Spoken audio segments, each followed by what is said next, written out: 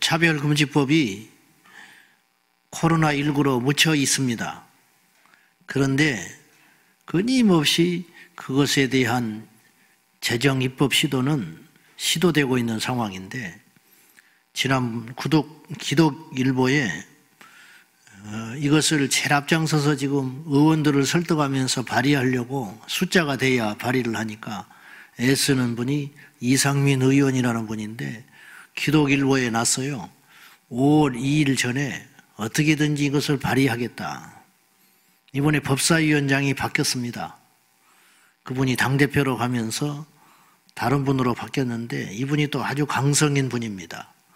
그러니까 법사위원장은 아주 요직이거든요. 거기서 막아버리면 올라가질 않고 거기서 통과가 되면 본 회의로 들어가서 어, 표고열에 붙이고 되고 붙이게 돼 버리면 이제 모든 것이 끝장나 버립니다. 법이라는 것은 무서운 것입니다. 정하기는 쉬워도 폐하기는 어려운 것입니다. 그런 것처럼 이 차별 금지 법이 제정이 되면 얼마나 무서운 일이 생기는지를 알면서도 자꾸만 이걸 밀어붙이려고 해요. 누차 말하지만 이건 교회의 생존의 문제가 아니라고 그랬어요. 온 국민의 윤리가 문제가 되고 자유가 억압받는 악법 중의 악법입니다. 서구 사회가 이걸 방심하고 있다가 감언이설에 속아가지고 교회 괜찮습니다. 신앙생활에 문제 없습니다. 그랬다가 가만히 침묵하고 있다가 쑥대밭이 돼버렸는데 우리가 이대로 또 가고 있습니다. 어쨌든 기도해 주시고 이분이 충청도 지역구에 사는 분인데 그 지역에 사는 분들은 이상민 의원 이거 말려줘야 됩니다. 큰일 납니다. 그래서 언론에서는 기독교 일부 가게관 기독교가 반대한다고 갈등이 일어날 거라고 그렇게 하고 있지만 이것이 일부 기독교만의 문제가 아니에요.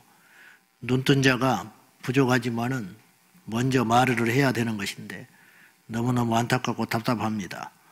많은 목사님들과 기독교계에 그 종사하고 언론계, 과학계, 학계 그런 분들도 늦게 이걸 알아요. 아, 이런 것이 있었냐고. 심지어는 성도들은 차별 금지하지 말자는데 왜 이걸 막냐고 그런 이야기 하는 사람도 있어요. 그러니까 그 말 자체, 차별 금지법이라는 말은 그거 자체는 그럴듯해 보이지만은 여러분, 북한이 조선 인민 민주국가입니다. 근데 인민을 위해서 뭘 하고 있습니까? 민주국가입니까? 그러니까 그런 허울 좋은 단어에 속지 말고 우리가 깨어 있어야 되는데 오늘 기도를 좀 많이 하시고 어떻게든지 이거 올라가지 않아야 됩니다. 자, 상쾌한 아침인데 자꾸만 좋지 않은 이야기를 해서 죄송하게 생각하는데 기도를 많이 해주시고 깨어 있기를 바랍니다.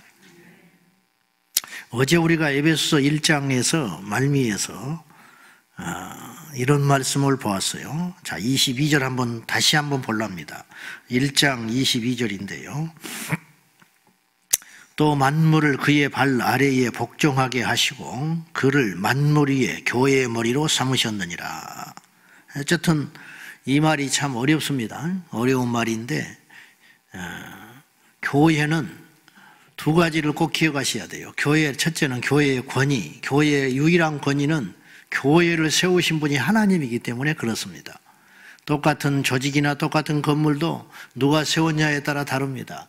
똑같이 나무가 한 그루 심어 있어도 그걸 왕이 심고 대통령이 심은 것과 그냥 일개 사람이 심는 건 완전히 차이가 있습니다. 똑같은 나무예요. 그런데 대통령이 와서 다녀오면서 심어놨다. 그러면 거기다가 편말을 세우고 물이라도 한 번 더 주고 죽을까봐 더 신경 쓸 거 아닙니까? 나무 자체가 무서운 게 아니에요. 누가 세웠냐. 이 건물이 자체가 중요한 게 아니라니까요. 근데 이 교회 이 자체를 누가 세웠냐가 중요한 거예요. 교회는 분명히 정리해야 됩니다. 신학적으로도 그렇고, 영적으로도 그렇고, 성경적으로도 그렇고, 교회는 그리스도의 몸입니다. 그러니까 교회를 괴롭게 하는 자들은 그리스도를 괴롭게 하는 자예요. 바울이 그랬잖아요. 바울이 그리스도의 몸된 지체인 성도들을 괴롭게 다니고 교회 공동체를 헤아려 다니니까 우리 주님께서 바울을 꺾으신 거 아니에요? 그러니까 우리 평생에, 평생에 교회를 소중히 여기고 교회를 사랑해야 돼요.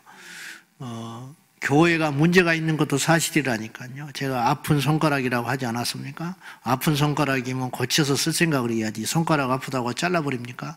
아이고, 이 손가락이 자꾸 끝에가 말썽이야. 이게 습진이 안 났네? 아, 잘라버려? 습진 걸렸다고 잘려버려? 그거를 소중히 여기고 아끼고 고쳐서 쓸 생각을 해야지. 교회 두 번째, 첫째는 교회의 권위, 교회의 가치는 그리스도께서 세우셨기 때문에 교회가 가치가 있다. 교회 상처 많은 거 알아요, 제가. 여러분들 교회 상처 입은 거 알고 교회에 대해서 불만이 있을 수도 있고 교회를 다니면서 억울한 일로 당하실 수 있습니다. 그렇다고 해서 교회의 가치가 없어지지는 않습니다. 그러므로 여러분이 제 말이 역지 같지만은 정말 힘들고 괴롭거든 기도하고 내 신앙에 방해가 되지 아니하도록 해야지 그것 때문에 교회를 안 다녀버린다. 그러면 사탄의 올무에 확 빠져버리는 거예요. 어떤 일이 있어도 교회를 사랑하는 것과 교회를 향한 마음들이 회복되는 여러분이 되시기를 축복합니다. 그래야 신앙이 건강해요. 여러분, 교회를 위해서 그런 게 아니에요. 내 자신의 영혼을 위해서 교회를 향하여 끊임없이 사랑하는 마음이 식지 아니하도록 그렇게 해야 된다 이 말이에요. 두 번째는 교회의 책임감이 있어요. 교회가 그리스도의 몸이야. 교회가 얼마나 소중한지 몰라. 그렇게 떠들고만 있을 것이 아니라 그렇게 중요하고 가치 있는 교회를 우리 스스로 욕먹이는 일이 있어서는 안 된다 이 말이에요. 세상에서 우리가 핍박을 받을지언정 손가락질을 받으면 안 된다 이 말이에요. 교회 이해할 수 없어 이런 말은 들을 수 있어요. 교회를 어떻게 세상이 이해합니까? 여러분, 우리가 교회를 세상에 어떻게 설득합니까? 교회가 이런 것이라고, 어쩐 것이라고. 설득 못 합니다. 그러나 교회가 손가락질을 받아서는 안 된다, 이 말이에요.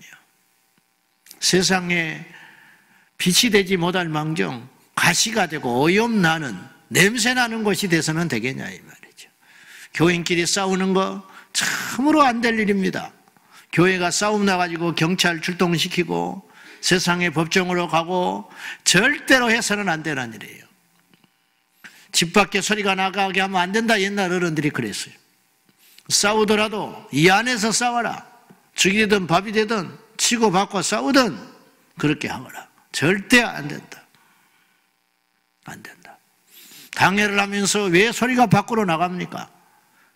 장로님들도 생각이 다를 수 있습니다. 회의하면서 생각이 다를 수 있어요. 똑같으면 오히려 이상하지요. 그런데 노아의 자식처럼 밖에 나가서 나팔 불고 집에 가서 이야기하고 교회 파당을 만들고 시끄럽게 하고 그래서 순수한 성도들을 갈려놔 버리고 심령을 찢어놓고 절대로 그런 짓을 해서는 안 된다 이 말이죠. 교회에 문제가 생겨가지고 누군가를 실족시켰다. 그 책임을 하나님이 안 물을 것 같습니까? 그 피값을 반드시 묻습니다. 그러므로 우리가 교회를 다니는 이곳에 우리가 와서 여기서 물을 먹고 여기서 우리가 안식을 누리고 여기서 생명을 얻고 여기서 은혜를 받고 여기서 힘을 얻어야 되는데 자기 의물에 침 뱉는 어리석은 자가 되지 말고 교회에 허물을 감춰주고 기도하고 눈물을 흘리면서 우리끼리 밖으로 절대 소리 나가지 아니하도록 우리 교회가 지금은 평화로운 듯 싶으나 사단이 어느 틈을 타고 한시도 안심을 못해. 날마다 건강한 교회, 힘 있는 교회, 부흥하는 교회, 약한 교회, 문제가 있는 교회, 어쩌고 저쩌고 모든 교회는 사탄의 타겟이 되어 있어요. 그러므로 우리 스스로 그런 사단의 시험거리가 되지 아니하도록 날마다 깨어 있는 저와 여러분이 되시고 우리 한 사람 한 사람이 고린도전서 3장에 의하여 볼 때 우리가 성전이라는 개념을 가지시고 주님 안에서 거룩한 성전으로 그리스도의 몸으로서 어떻게 살아가며 어떠한 덕을 세워야 할 것인지 날마다 고민하는 저와 여러분이 되셔야 하겠습니다. 자, 2장 1절입니다. 다 같이 1절과 2절 시작. 그는 허물과 죄로 죽었던 너희를 살리셨도다. 그때에 너희는 그 가운데서 행하여 이 세상 풍조를 따르고 공중의 권세 잡은 자를 따랐으니 곧 지금 불순종의 아들들 가운데서 역사하는 영이라. 그는 주님은 허물과 죄로 죽었던 과거 완료형을 쓰고 있어요. 이미 우리가 죽어버린 거예요. 뭐 때문에 죽었냐 사람이 죽는 것은 이 수완이 다해서만 죽는 게 아니에요 진정한 죽음은 죄와 허물 때문에 죽는다고 어느 성경에 이야기하고 있어요. 죄 가운데 있다. 그건 이미 죽은 자라는 거예요. 인간은 태어나면서부터 죽은 거예요. 왜냐? 죄인으로 태어났거든. 죄와 허물로 죽었던 너희를 우리는 멀쩡히 살다가 세상에서 넘어져 가지고 다시 주님의 이름으로 구원받은 존재가 아니고 이미 멀쩡하여 죽은 존재로 나온 거예요. 멀쩡히 죽어서 나왔어요. 그래서 이걸 원죄라고 하지 않습니까? 그런데 죄와 허물로 죽어버렸던 너희를 살리셨도다. 여러분, 예수님 안에 돌아와도 달라진 건 하나도 없어요. 근데 영적으로는 달라진다, 이 말이죠. 죽었던 너희가 살라다, 살아났도다. 그러면 죽었다고 말할 수 있는 증거가 뭐냐? 이 절을 보면은 그때에 죽었을 때, 죽었을 때 너희는 그 가운데 행하여 이 세상 풍조를 따랐다. 그리고 공중의 권세 잡은 자, 곧 마귀를 따라다니는 거지요. 그 마귀는 무슨 일을 하냐? 지금도 불순종의 아들들 가운데 역사하는 영이라. 마귀가 타겟으로 삼고 건들 수 있는 조건의 사람이 있다는 거예요. 그건 누구냐? 불순종의 아들들이다. 불순종의 아들들 가운데 역사한다 그랬어요. 구약에 마귀 사탄의 다른 별칭이 있는데 별명이 있는데 바할세불이라고 그랬어요. 신약에 와서는 바알 세불이라고 그랬는데 바알 세불 이 말은 바알이라는 말과 세불이라는 말이 동시에 되어 있는 말인데 바알이라는 말은 어떤 말이냐면은 지배자 그런 뜻이에요. 지배자, 왕 그런 뜻을 갖고 있어요. 주인이라는 뜻을 갖고 있어요. 그러니까 바알이라는 이름이 주인, 소유자 그런 뜻을 갖고 있어요. 그러니까 세불이라는 단어는 뭐냐면 파리떼 그런 뜻이에요. 그러니까 이걸 합해보면 바알 세법이라는 말은 무슨 뜻이냐? 파리 때의 주인이다. 그것을 의역에서 파리 때의 왕이다. 그렇게 해요. 마귀는 파리 때 왕이에요. 얼마나 이름이 적절한지 몰라요. 파리 때는 어디에 옵니까? 깨끗한 곳에는 오지 않아요. 파리가 있다는 향기가 나는 곳에는 벌이 오고 냄새 나는 곳에는 파리가 오는 거예요. 향기 나는 곳에 파리 오는 건 없어요. 냄새 나는 곳에 벌이 오질 않아. 나비가 오지 않아요. 불결하고 더러운 곳에는 반드시 파리가 끌게 돼 있어요. 구더기가 끌고 파리가 끌어요. 파리가 윙윙윙거리고 날아다닌다는 것은 그 지역 어디가 지금 썩고 있는 뭔가가 있는 거예요. 구더기가 슬금슬금 돌아다니는 것은 눈에 안 보이고 멀쩡한 건물 같아도 그 어디선가 뭔가가 썩고 있다는 거예요. 그러니까 구더기가 돌고 파리떼가 돈다는 거죠. 불순종하니까 사탄 마귀가 그 사람을 사용하기가 쉬워진다 이 말이에요. 여러분 불순종하면 마귀의 지배를 받게 되는 거예요. 거꾸로 말해 봅시다. 하나님 말씀에 순종하면 악한 마귀는 근거를 잃어버리고 떠나가게 되는 거예요. 귀신 들린 자는 누구한테 기도받는 것도 중요하지만 간단한 치유법, 어렵지만 간단한 치유법이 있어요. 말씀에 순종하면 귀신은 떠나가게 되어 있어요. 왜냐? 불순종의 아들들 가운데 역사한다잖아요. 자기는 행실을 고치지도 않고 말씀대로 순종하지 않으면서 맨날 이 사람 저 사람 머리 디밀면서 기도 받아봤자 악한 영이 떠나는 것 같지만 사정은 점점점 나빠지는 거예요. 그리고 탓을 상대방에다 하는 거예요. 왜 나는 교회를 다니면서 이러냐 이 말. 왜 나는 하나님이 안 고쳐주냐는 거예요. 왜 나는 이 사람이 능력 있다고 그랬는데 기도받아도 별것이 없냐는 거예요. 금세 다시 들어오지요. 안 되는 거지요. 근본적인 것은 돌아다니는 파리를 백날 잡아도 필요가 없어요. 냄새나는 출처에 돌아가서 그 냄새나는 것을 깨끗하게 청소해버려야 그 파리가 사라질 것 아닙니까? 그래서 두 번째, 첫째는 말씀에 순종하면 악한 영이 떠나간다. 괴로워서 못 있어요. 아멘. 말씀에 순종하면 성령이 함께 하시고, 말씀에 순종하면 원수 마귀가 괴로워서 못 사는 거예요. 부모에게 불순종합니다. 그 안에는 어둠이 확 차 있는 거예요. 말씀에 불순종합니다. 그러면 그 안에 불만이 꽉 차 있는 거예요. 어둠이, 어둠이 있는 거야. 겉으로는 깨끗하고 화려해 있어도 그 마음속에는 어둠이 있으니 그 어둠을 먹으려고 사탄이 떠나지를 못하는 거예요. 두 번째는 죄를 버려라. 파리 때 냄새나는 거, 오염난 거, 더러운 것은 죄를 상징하는 거예요. 너희가 불순종할 때에 원수 마귀가 지배권을 형성하고 역사하니까 그 속에 죄를 버리고 회개하고 주님께로 돌아오면 그 죄를 먹고 사는 사단이 견딜 수가 없게 되는 거예요. 여러분, 거룩해야 병이 나요. 거룩해야 악한 영이 장난을 못해요. 근데 속에는 음남, 담심, 더러움, 살이, 시기, 질투, 옹졸함, 게으름 이런 죄의 항목들이 꽉 차 있으면서 주님께 나와서 기도하고 예배하고 안 된다는 거예요. 물론 그렇게 함으로 그런 상태로라도 예배하고 기도할 적에 회개의 영이 임하여 그를 정결하게 할 수 있지만은 예배드리는 행위 자체가 능력이 되는 것이 아니고 그 예배를 통하여 그의 심령이 새롭게 될 때에 진정한 능력이 임하고 축복이 임하고 은혜가 임하고 치유가 일어나는 줄로 믿습니다. 오늘날 이 시대를 보십시오. 얼마나 악하고 거짓되고 음란하고 배역하고 그러니까 우리도 잘날 것이 하나 없는데 우리도 그리스도의 복음을 몰랐다면 그 틈바구니 속에서 빙빙빙빙빙 돌면서 같이 범죄하고 죄짓고 넘어지고 악하고 배역하고 시기하고 살인하고 미워하고 그렇게 살아갔을 것이다 이 말이죠. 3절 보세요. 다 같이 시작. 전에는 우리도 그 가운데서 우리 육체 욕심을 따라 지내며 육체와 마음에 원하는 것을 하여 다른 이들과 같이 본질상 진노의 자녀이었더니 얼마나 한 구절 한 구절이 성령의 계시 안에서 정확하게 표현을 하고 있는지 보십시오.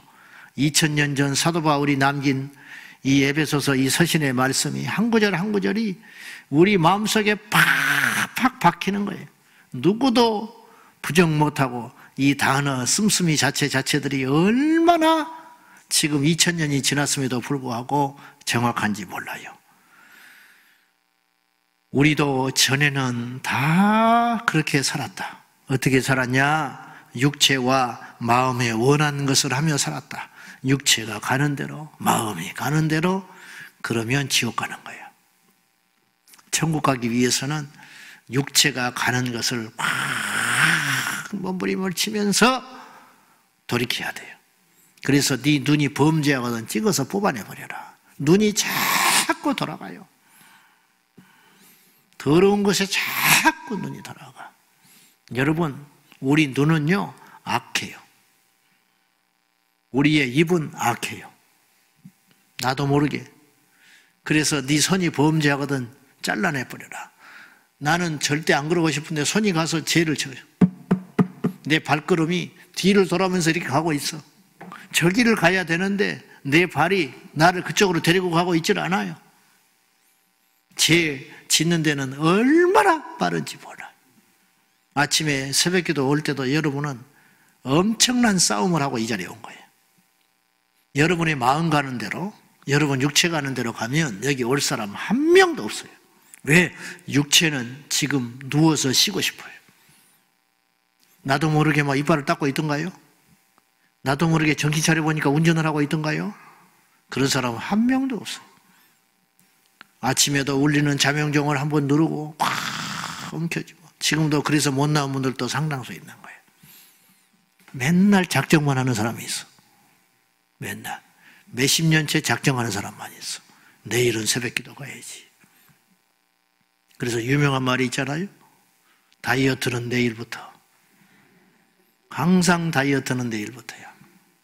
우리 집에도 주로 유행하는 말이 그 말이에요. 두 여자들이 앉아가지고 오늘까지만. 음, 오늘까지만 먹자. 지금까지 계속 먹고 있어요. 오늘까지만 먹는데 맨날 오늘까지요. 이게 육체와 마음이 가는 대로 사는 거예요. 그러니까 육이야 괜찮아요. 그럴 수 있어. 그러나 영적인 것은 단호하게 우리 영적 생명을 위해서 육체가 가는 대로 마음은 가는 대로 여러분 우리 마음은 어때요? 미워하고 싶은 사람 미워하고 싫은 사람은 싫고 좋은 사람은 좋고 우리 마음이 그렇게 본능적으로 딱 가잖아요. 그대로 살면 우리는 죽게 된다. 영원히 죽게 된다. 그리 살지 말고. 그러니까 얼마나 우리가 역겨운 인생입니까? 겉만 이럴 뿐이지. 그런 우리를 허물과 죄로 이미 죽을 자가 아니고 죽어버린 우리를 살리셨도다. 오늘날 우리가요, 구원받는 거, 복받는 거, 이런 것에만 너무 관심이 많아. 근데 우리가 지금 이 시대에 관심을 가져야 할 일은 구원받고 복받는 건 그냥 자동으로 따라오는 것이고 무엇에 관심을 가져야 되냐면은 죄를 이겨 싸우는 데 관심을 가져야 돼요. 죄를 버리는 거, 거룩하게 사는 것, 회개하는 것, 그러면 자동으로 되는 거예요. 여러분, 공부 좀 하면 자동으로 대학 가요. 운동하면 여러분 자동으로 건강해져요. 내가 오늘 운동했으니까 이만큼 건강해졌을 거야. 한번 살펴보자. 피검사 날마다 하고 그럴 필요 없다니까요. 운동하면 건강해지는 거야. 마음에 기쁨이 오면 얼굴에 나타나는 거예요. 아이고, 오늘은 내가 웃고 다녀야겠다. 내가 오늘은 웃는 날이야. 그래서 맨날 웃고 다닌다. 속은 안 되는데. 그게 아니라니까. 너 무슨 좋은 일 있구나? 그런다고. 못 속이는 거예요. 우리가 죄를 떠나면 하나님 만나게 되는 것이고, 죄를 떠나면 거룩해지는 것이고, 죄를 떠나면 사단이 떠나는 것이고, 죄를 떠나면 하나님의 은혜가 임하는 것이에요.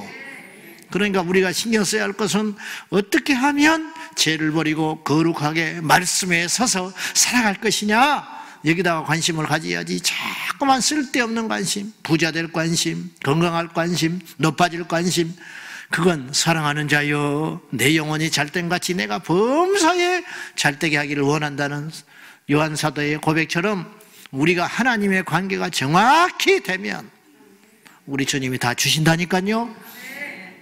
어느 날 엄마가 옷을 사갖고 왔어. 자식이 옷이 모자란지 알아요? 아니, 웬 옷이야? 너 옷 없잖아.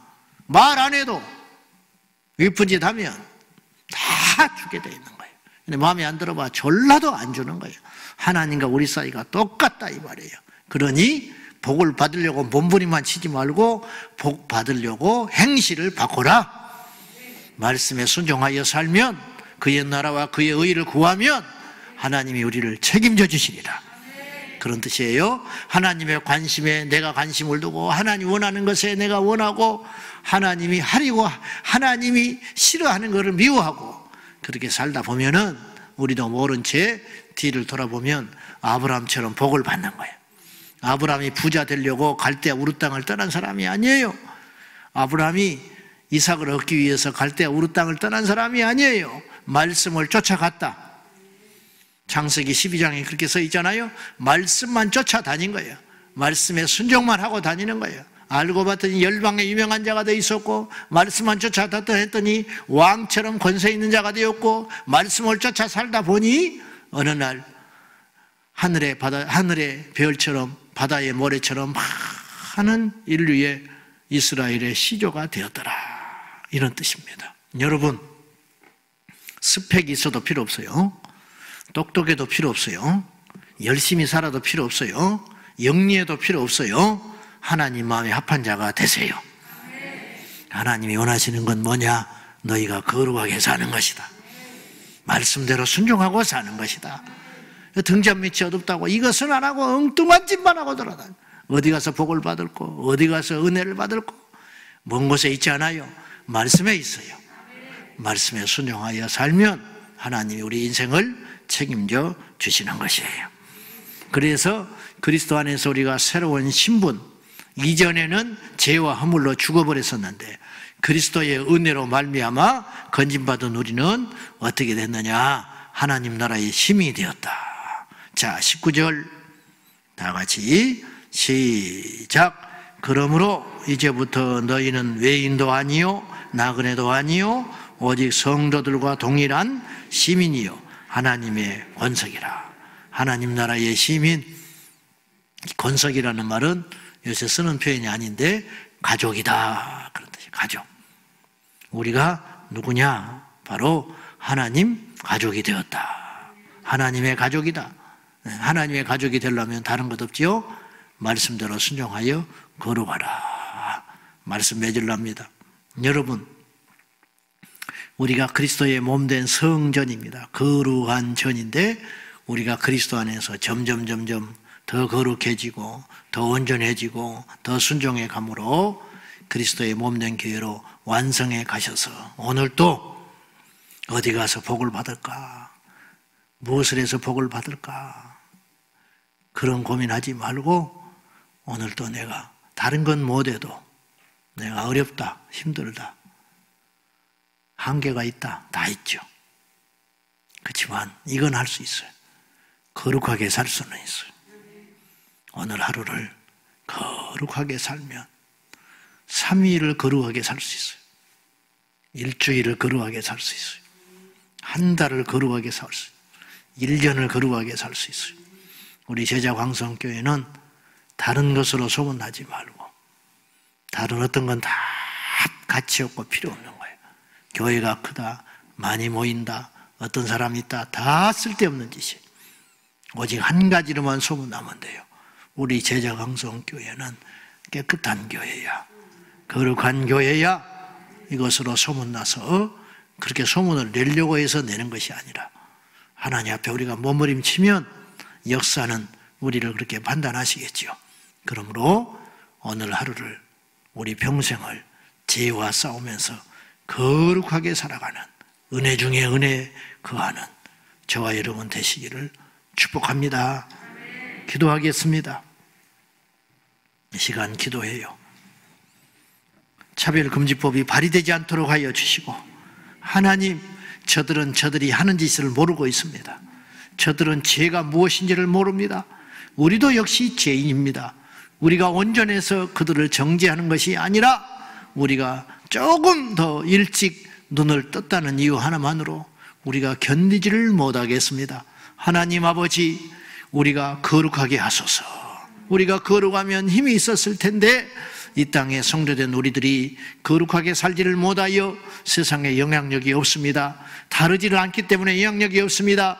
주여, 우리 평생에 가난하고 힘들고 어려워도 높아지지 않아도 좋으니 거룩하게 살게 하여 달라고 이 아침에 간절한 마음으로 우리 통성으로 기도합니다. 살아계신 하나님 아버지, 오늘 이 아침에 우리가 한 목소리로 우리 하나님 앞에 기도합니다. 아버지, 우리가 다른 것은 몰라도 거룩하게 하여 주십시오. 우리가 배움이 부족하고 지혜가 부족하고 또한 세상의 물질도 부족하고 지혜도 부족합니다. 주님, 우리가 가진 것이 없습니다. 그러나 거룩할 수는 있습니다. 주여 종도 거룩할 수는 있고 연약한 자도 거룩할 수는 있고 아이도 거룩할 수 있고 죽어가는 노인도 거룩할 수는 있는 것 아닙니까? 말씀으로 우리 영혼을 깨끗하게 씻어서 우리 마음 가는 대로 육체 가는 대로 살 것이 아니라 우리의 심령을 말씀으로 새롭게 씻어냄으로 인하여 날마다 날마다 거룩한 주의 백성들이 다 되게 하여 주옵소서 우리 육체가 더러운 것이 아니라 우리의 심령이 더러워져 있고 우리 영혼이 더러워져 있으니 이 노릇을 어찌하면 좋습니까? 우리 제자광성교 모든 성도들 오늘 또 예배하는 우리 모든 성도들 한 가지의 소원을 품고 기도하기를 원합니다 주여 거룩하게 하여 주십시오. 죄를 버리게 하시고 하나님 앞에 악을 멀리하게 하심으로 인하여 파리떼가 몰려들지 아니하도록 도와주시고 악한 귀신들이 우리들을 농락하지 아니하도록 성령님 역사하여 주옵소서. 이 새벽에도 우리의 심령과 우리의 말과 우리의 육체와 우리 행실을 주의 피로 씻어주시사 거룩하게 하여 주시고 말씀으로 거룩하게 하소서. 물과 성령으로 거듭나야 하겠습니다. 말씀과 성령으로 거듭나게 하소서. 물로 씻음 받고 씻어진 그곳에 불이 임하여서 온갖 악한 바이러스를 다 태워줌으로 인하여 우리 영혼이 정결케 하여 주시옵소서 아버지 하나님 이 아침에도 간절한 마음으로 기도합니다 주여 우리의 심령에 들어와 있는 더러운 제약들 허물과 죄가 우리를 죽였으니 주 예수의 보혈로 말미암아 정결한 심령이 되어 악은 모양이라도 취하지 말고 근처라도 가지 말고 생명 걸고 악과 싸워 승리하도록 도와 주시옵소서. 아버지, 우리가 부족한 것이 참 많습니다. 지혜도 부족합니다. 재물도 부족합니다. 세상의 지혜도 부족합니다. 그러나 이 모든 것들은 감수해도 좋으니 우리가 거룩하게만 하게 하여 주소서 우리 자녀들이 못나도 괜찮습니다. 출세를 덜해도 좋습니다. 세상의 죄에 휘말려 악하고 더러운 저 폐역한 세상에 뒤섞여 웃으면서 지옥 가지 않도록 저들의 심령을 새롭게 씻어 주시옵소서.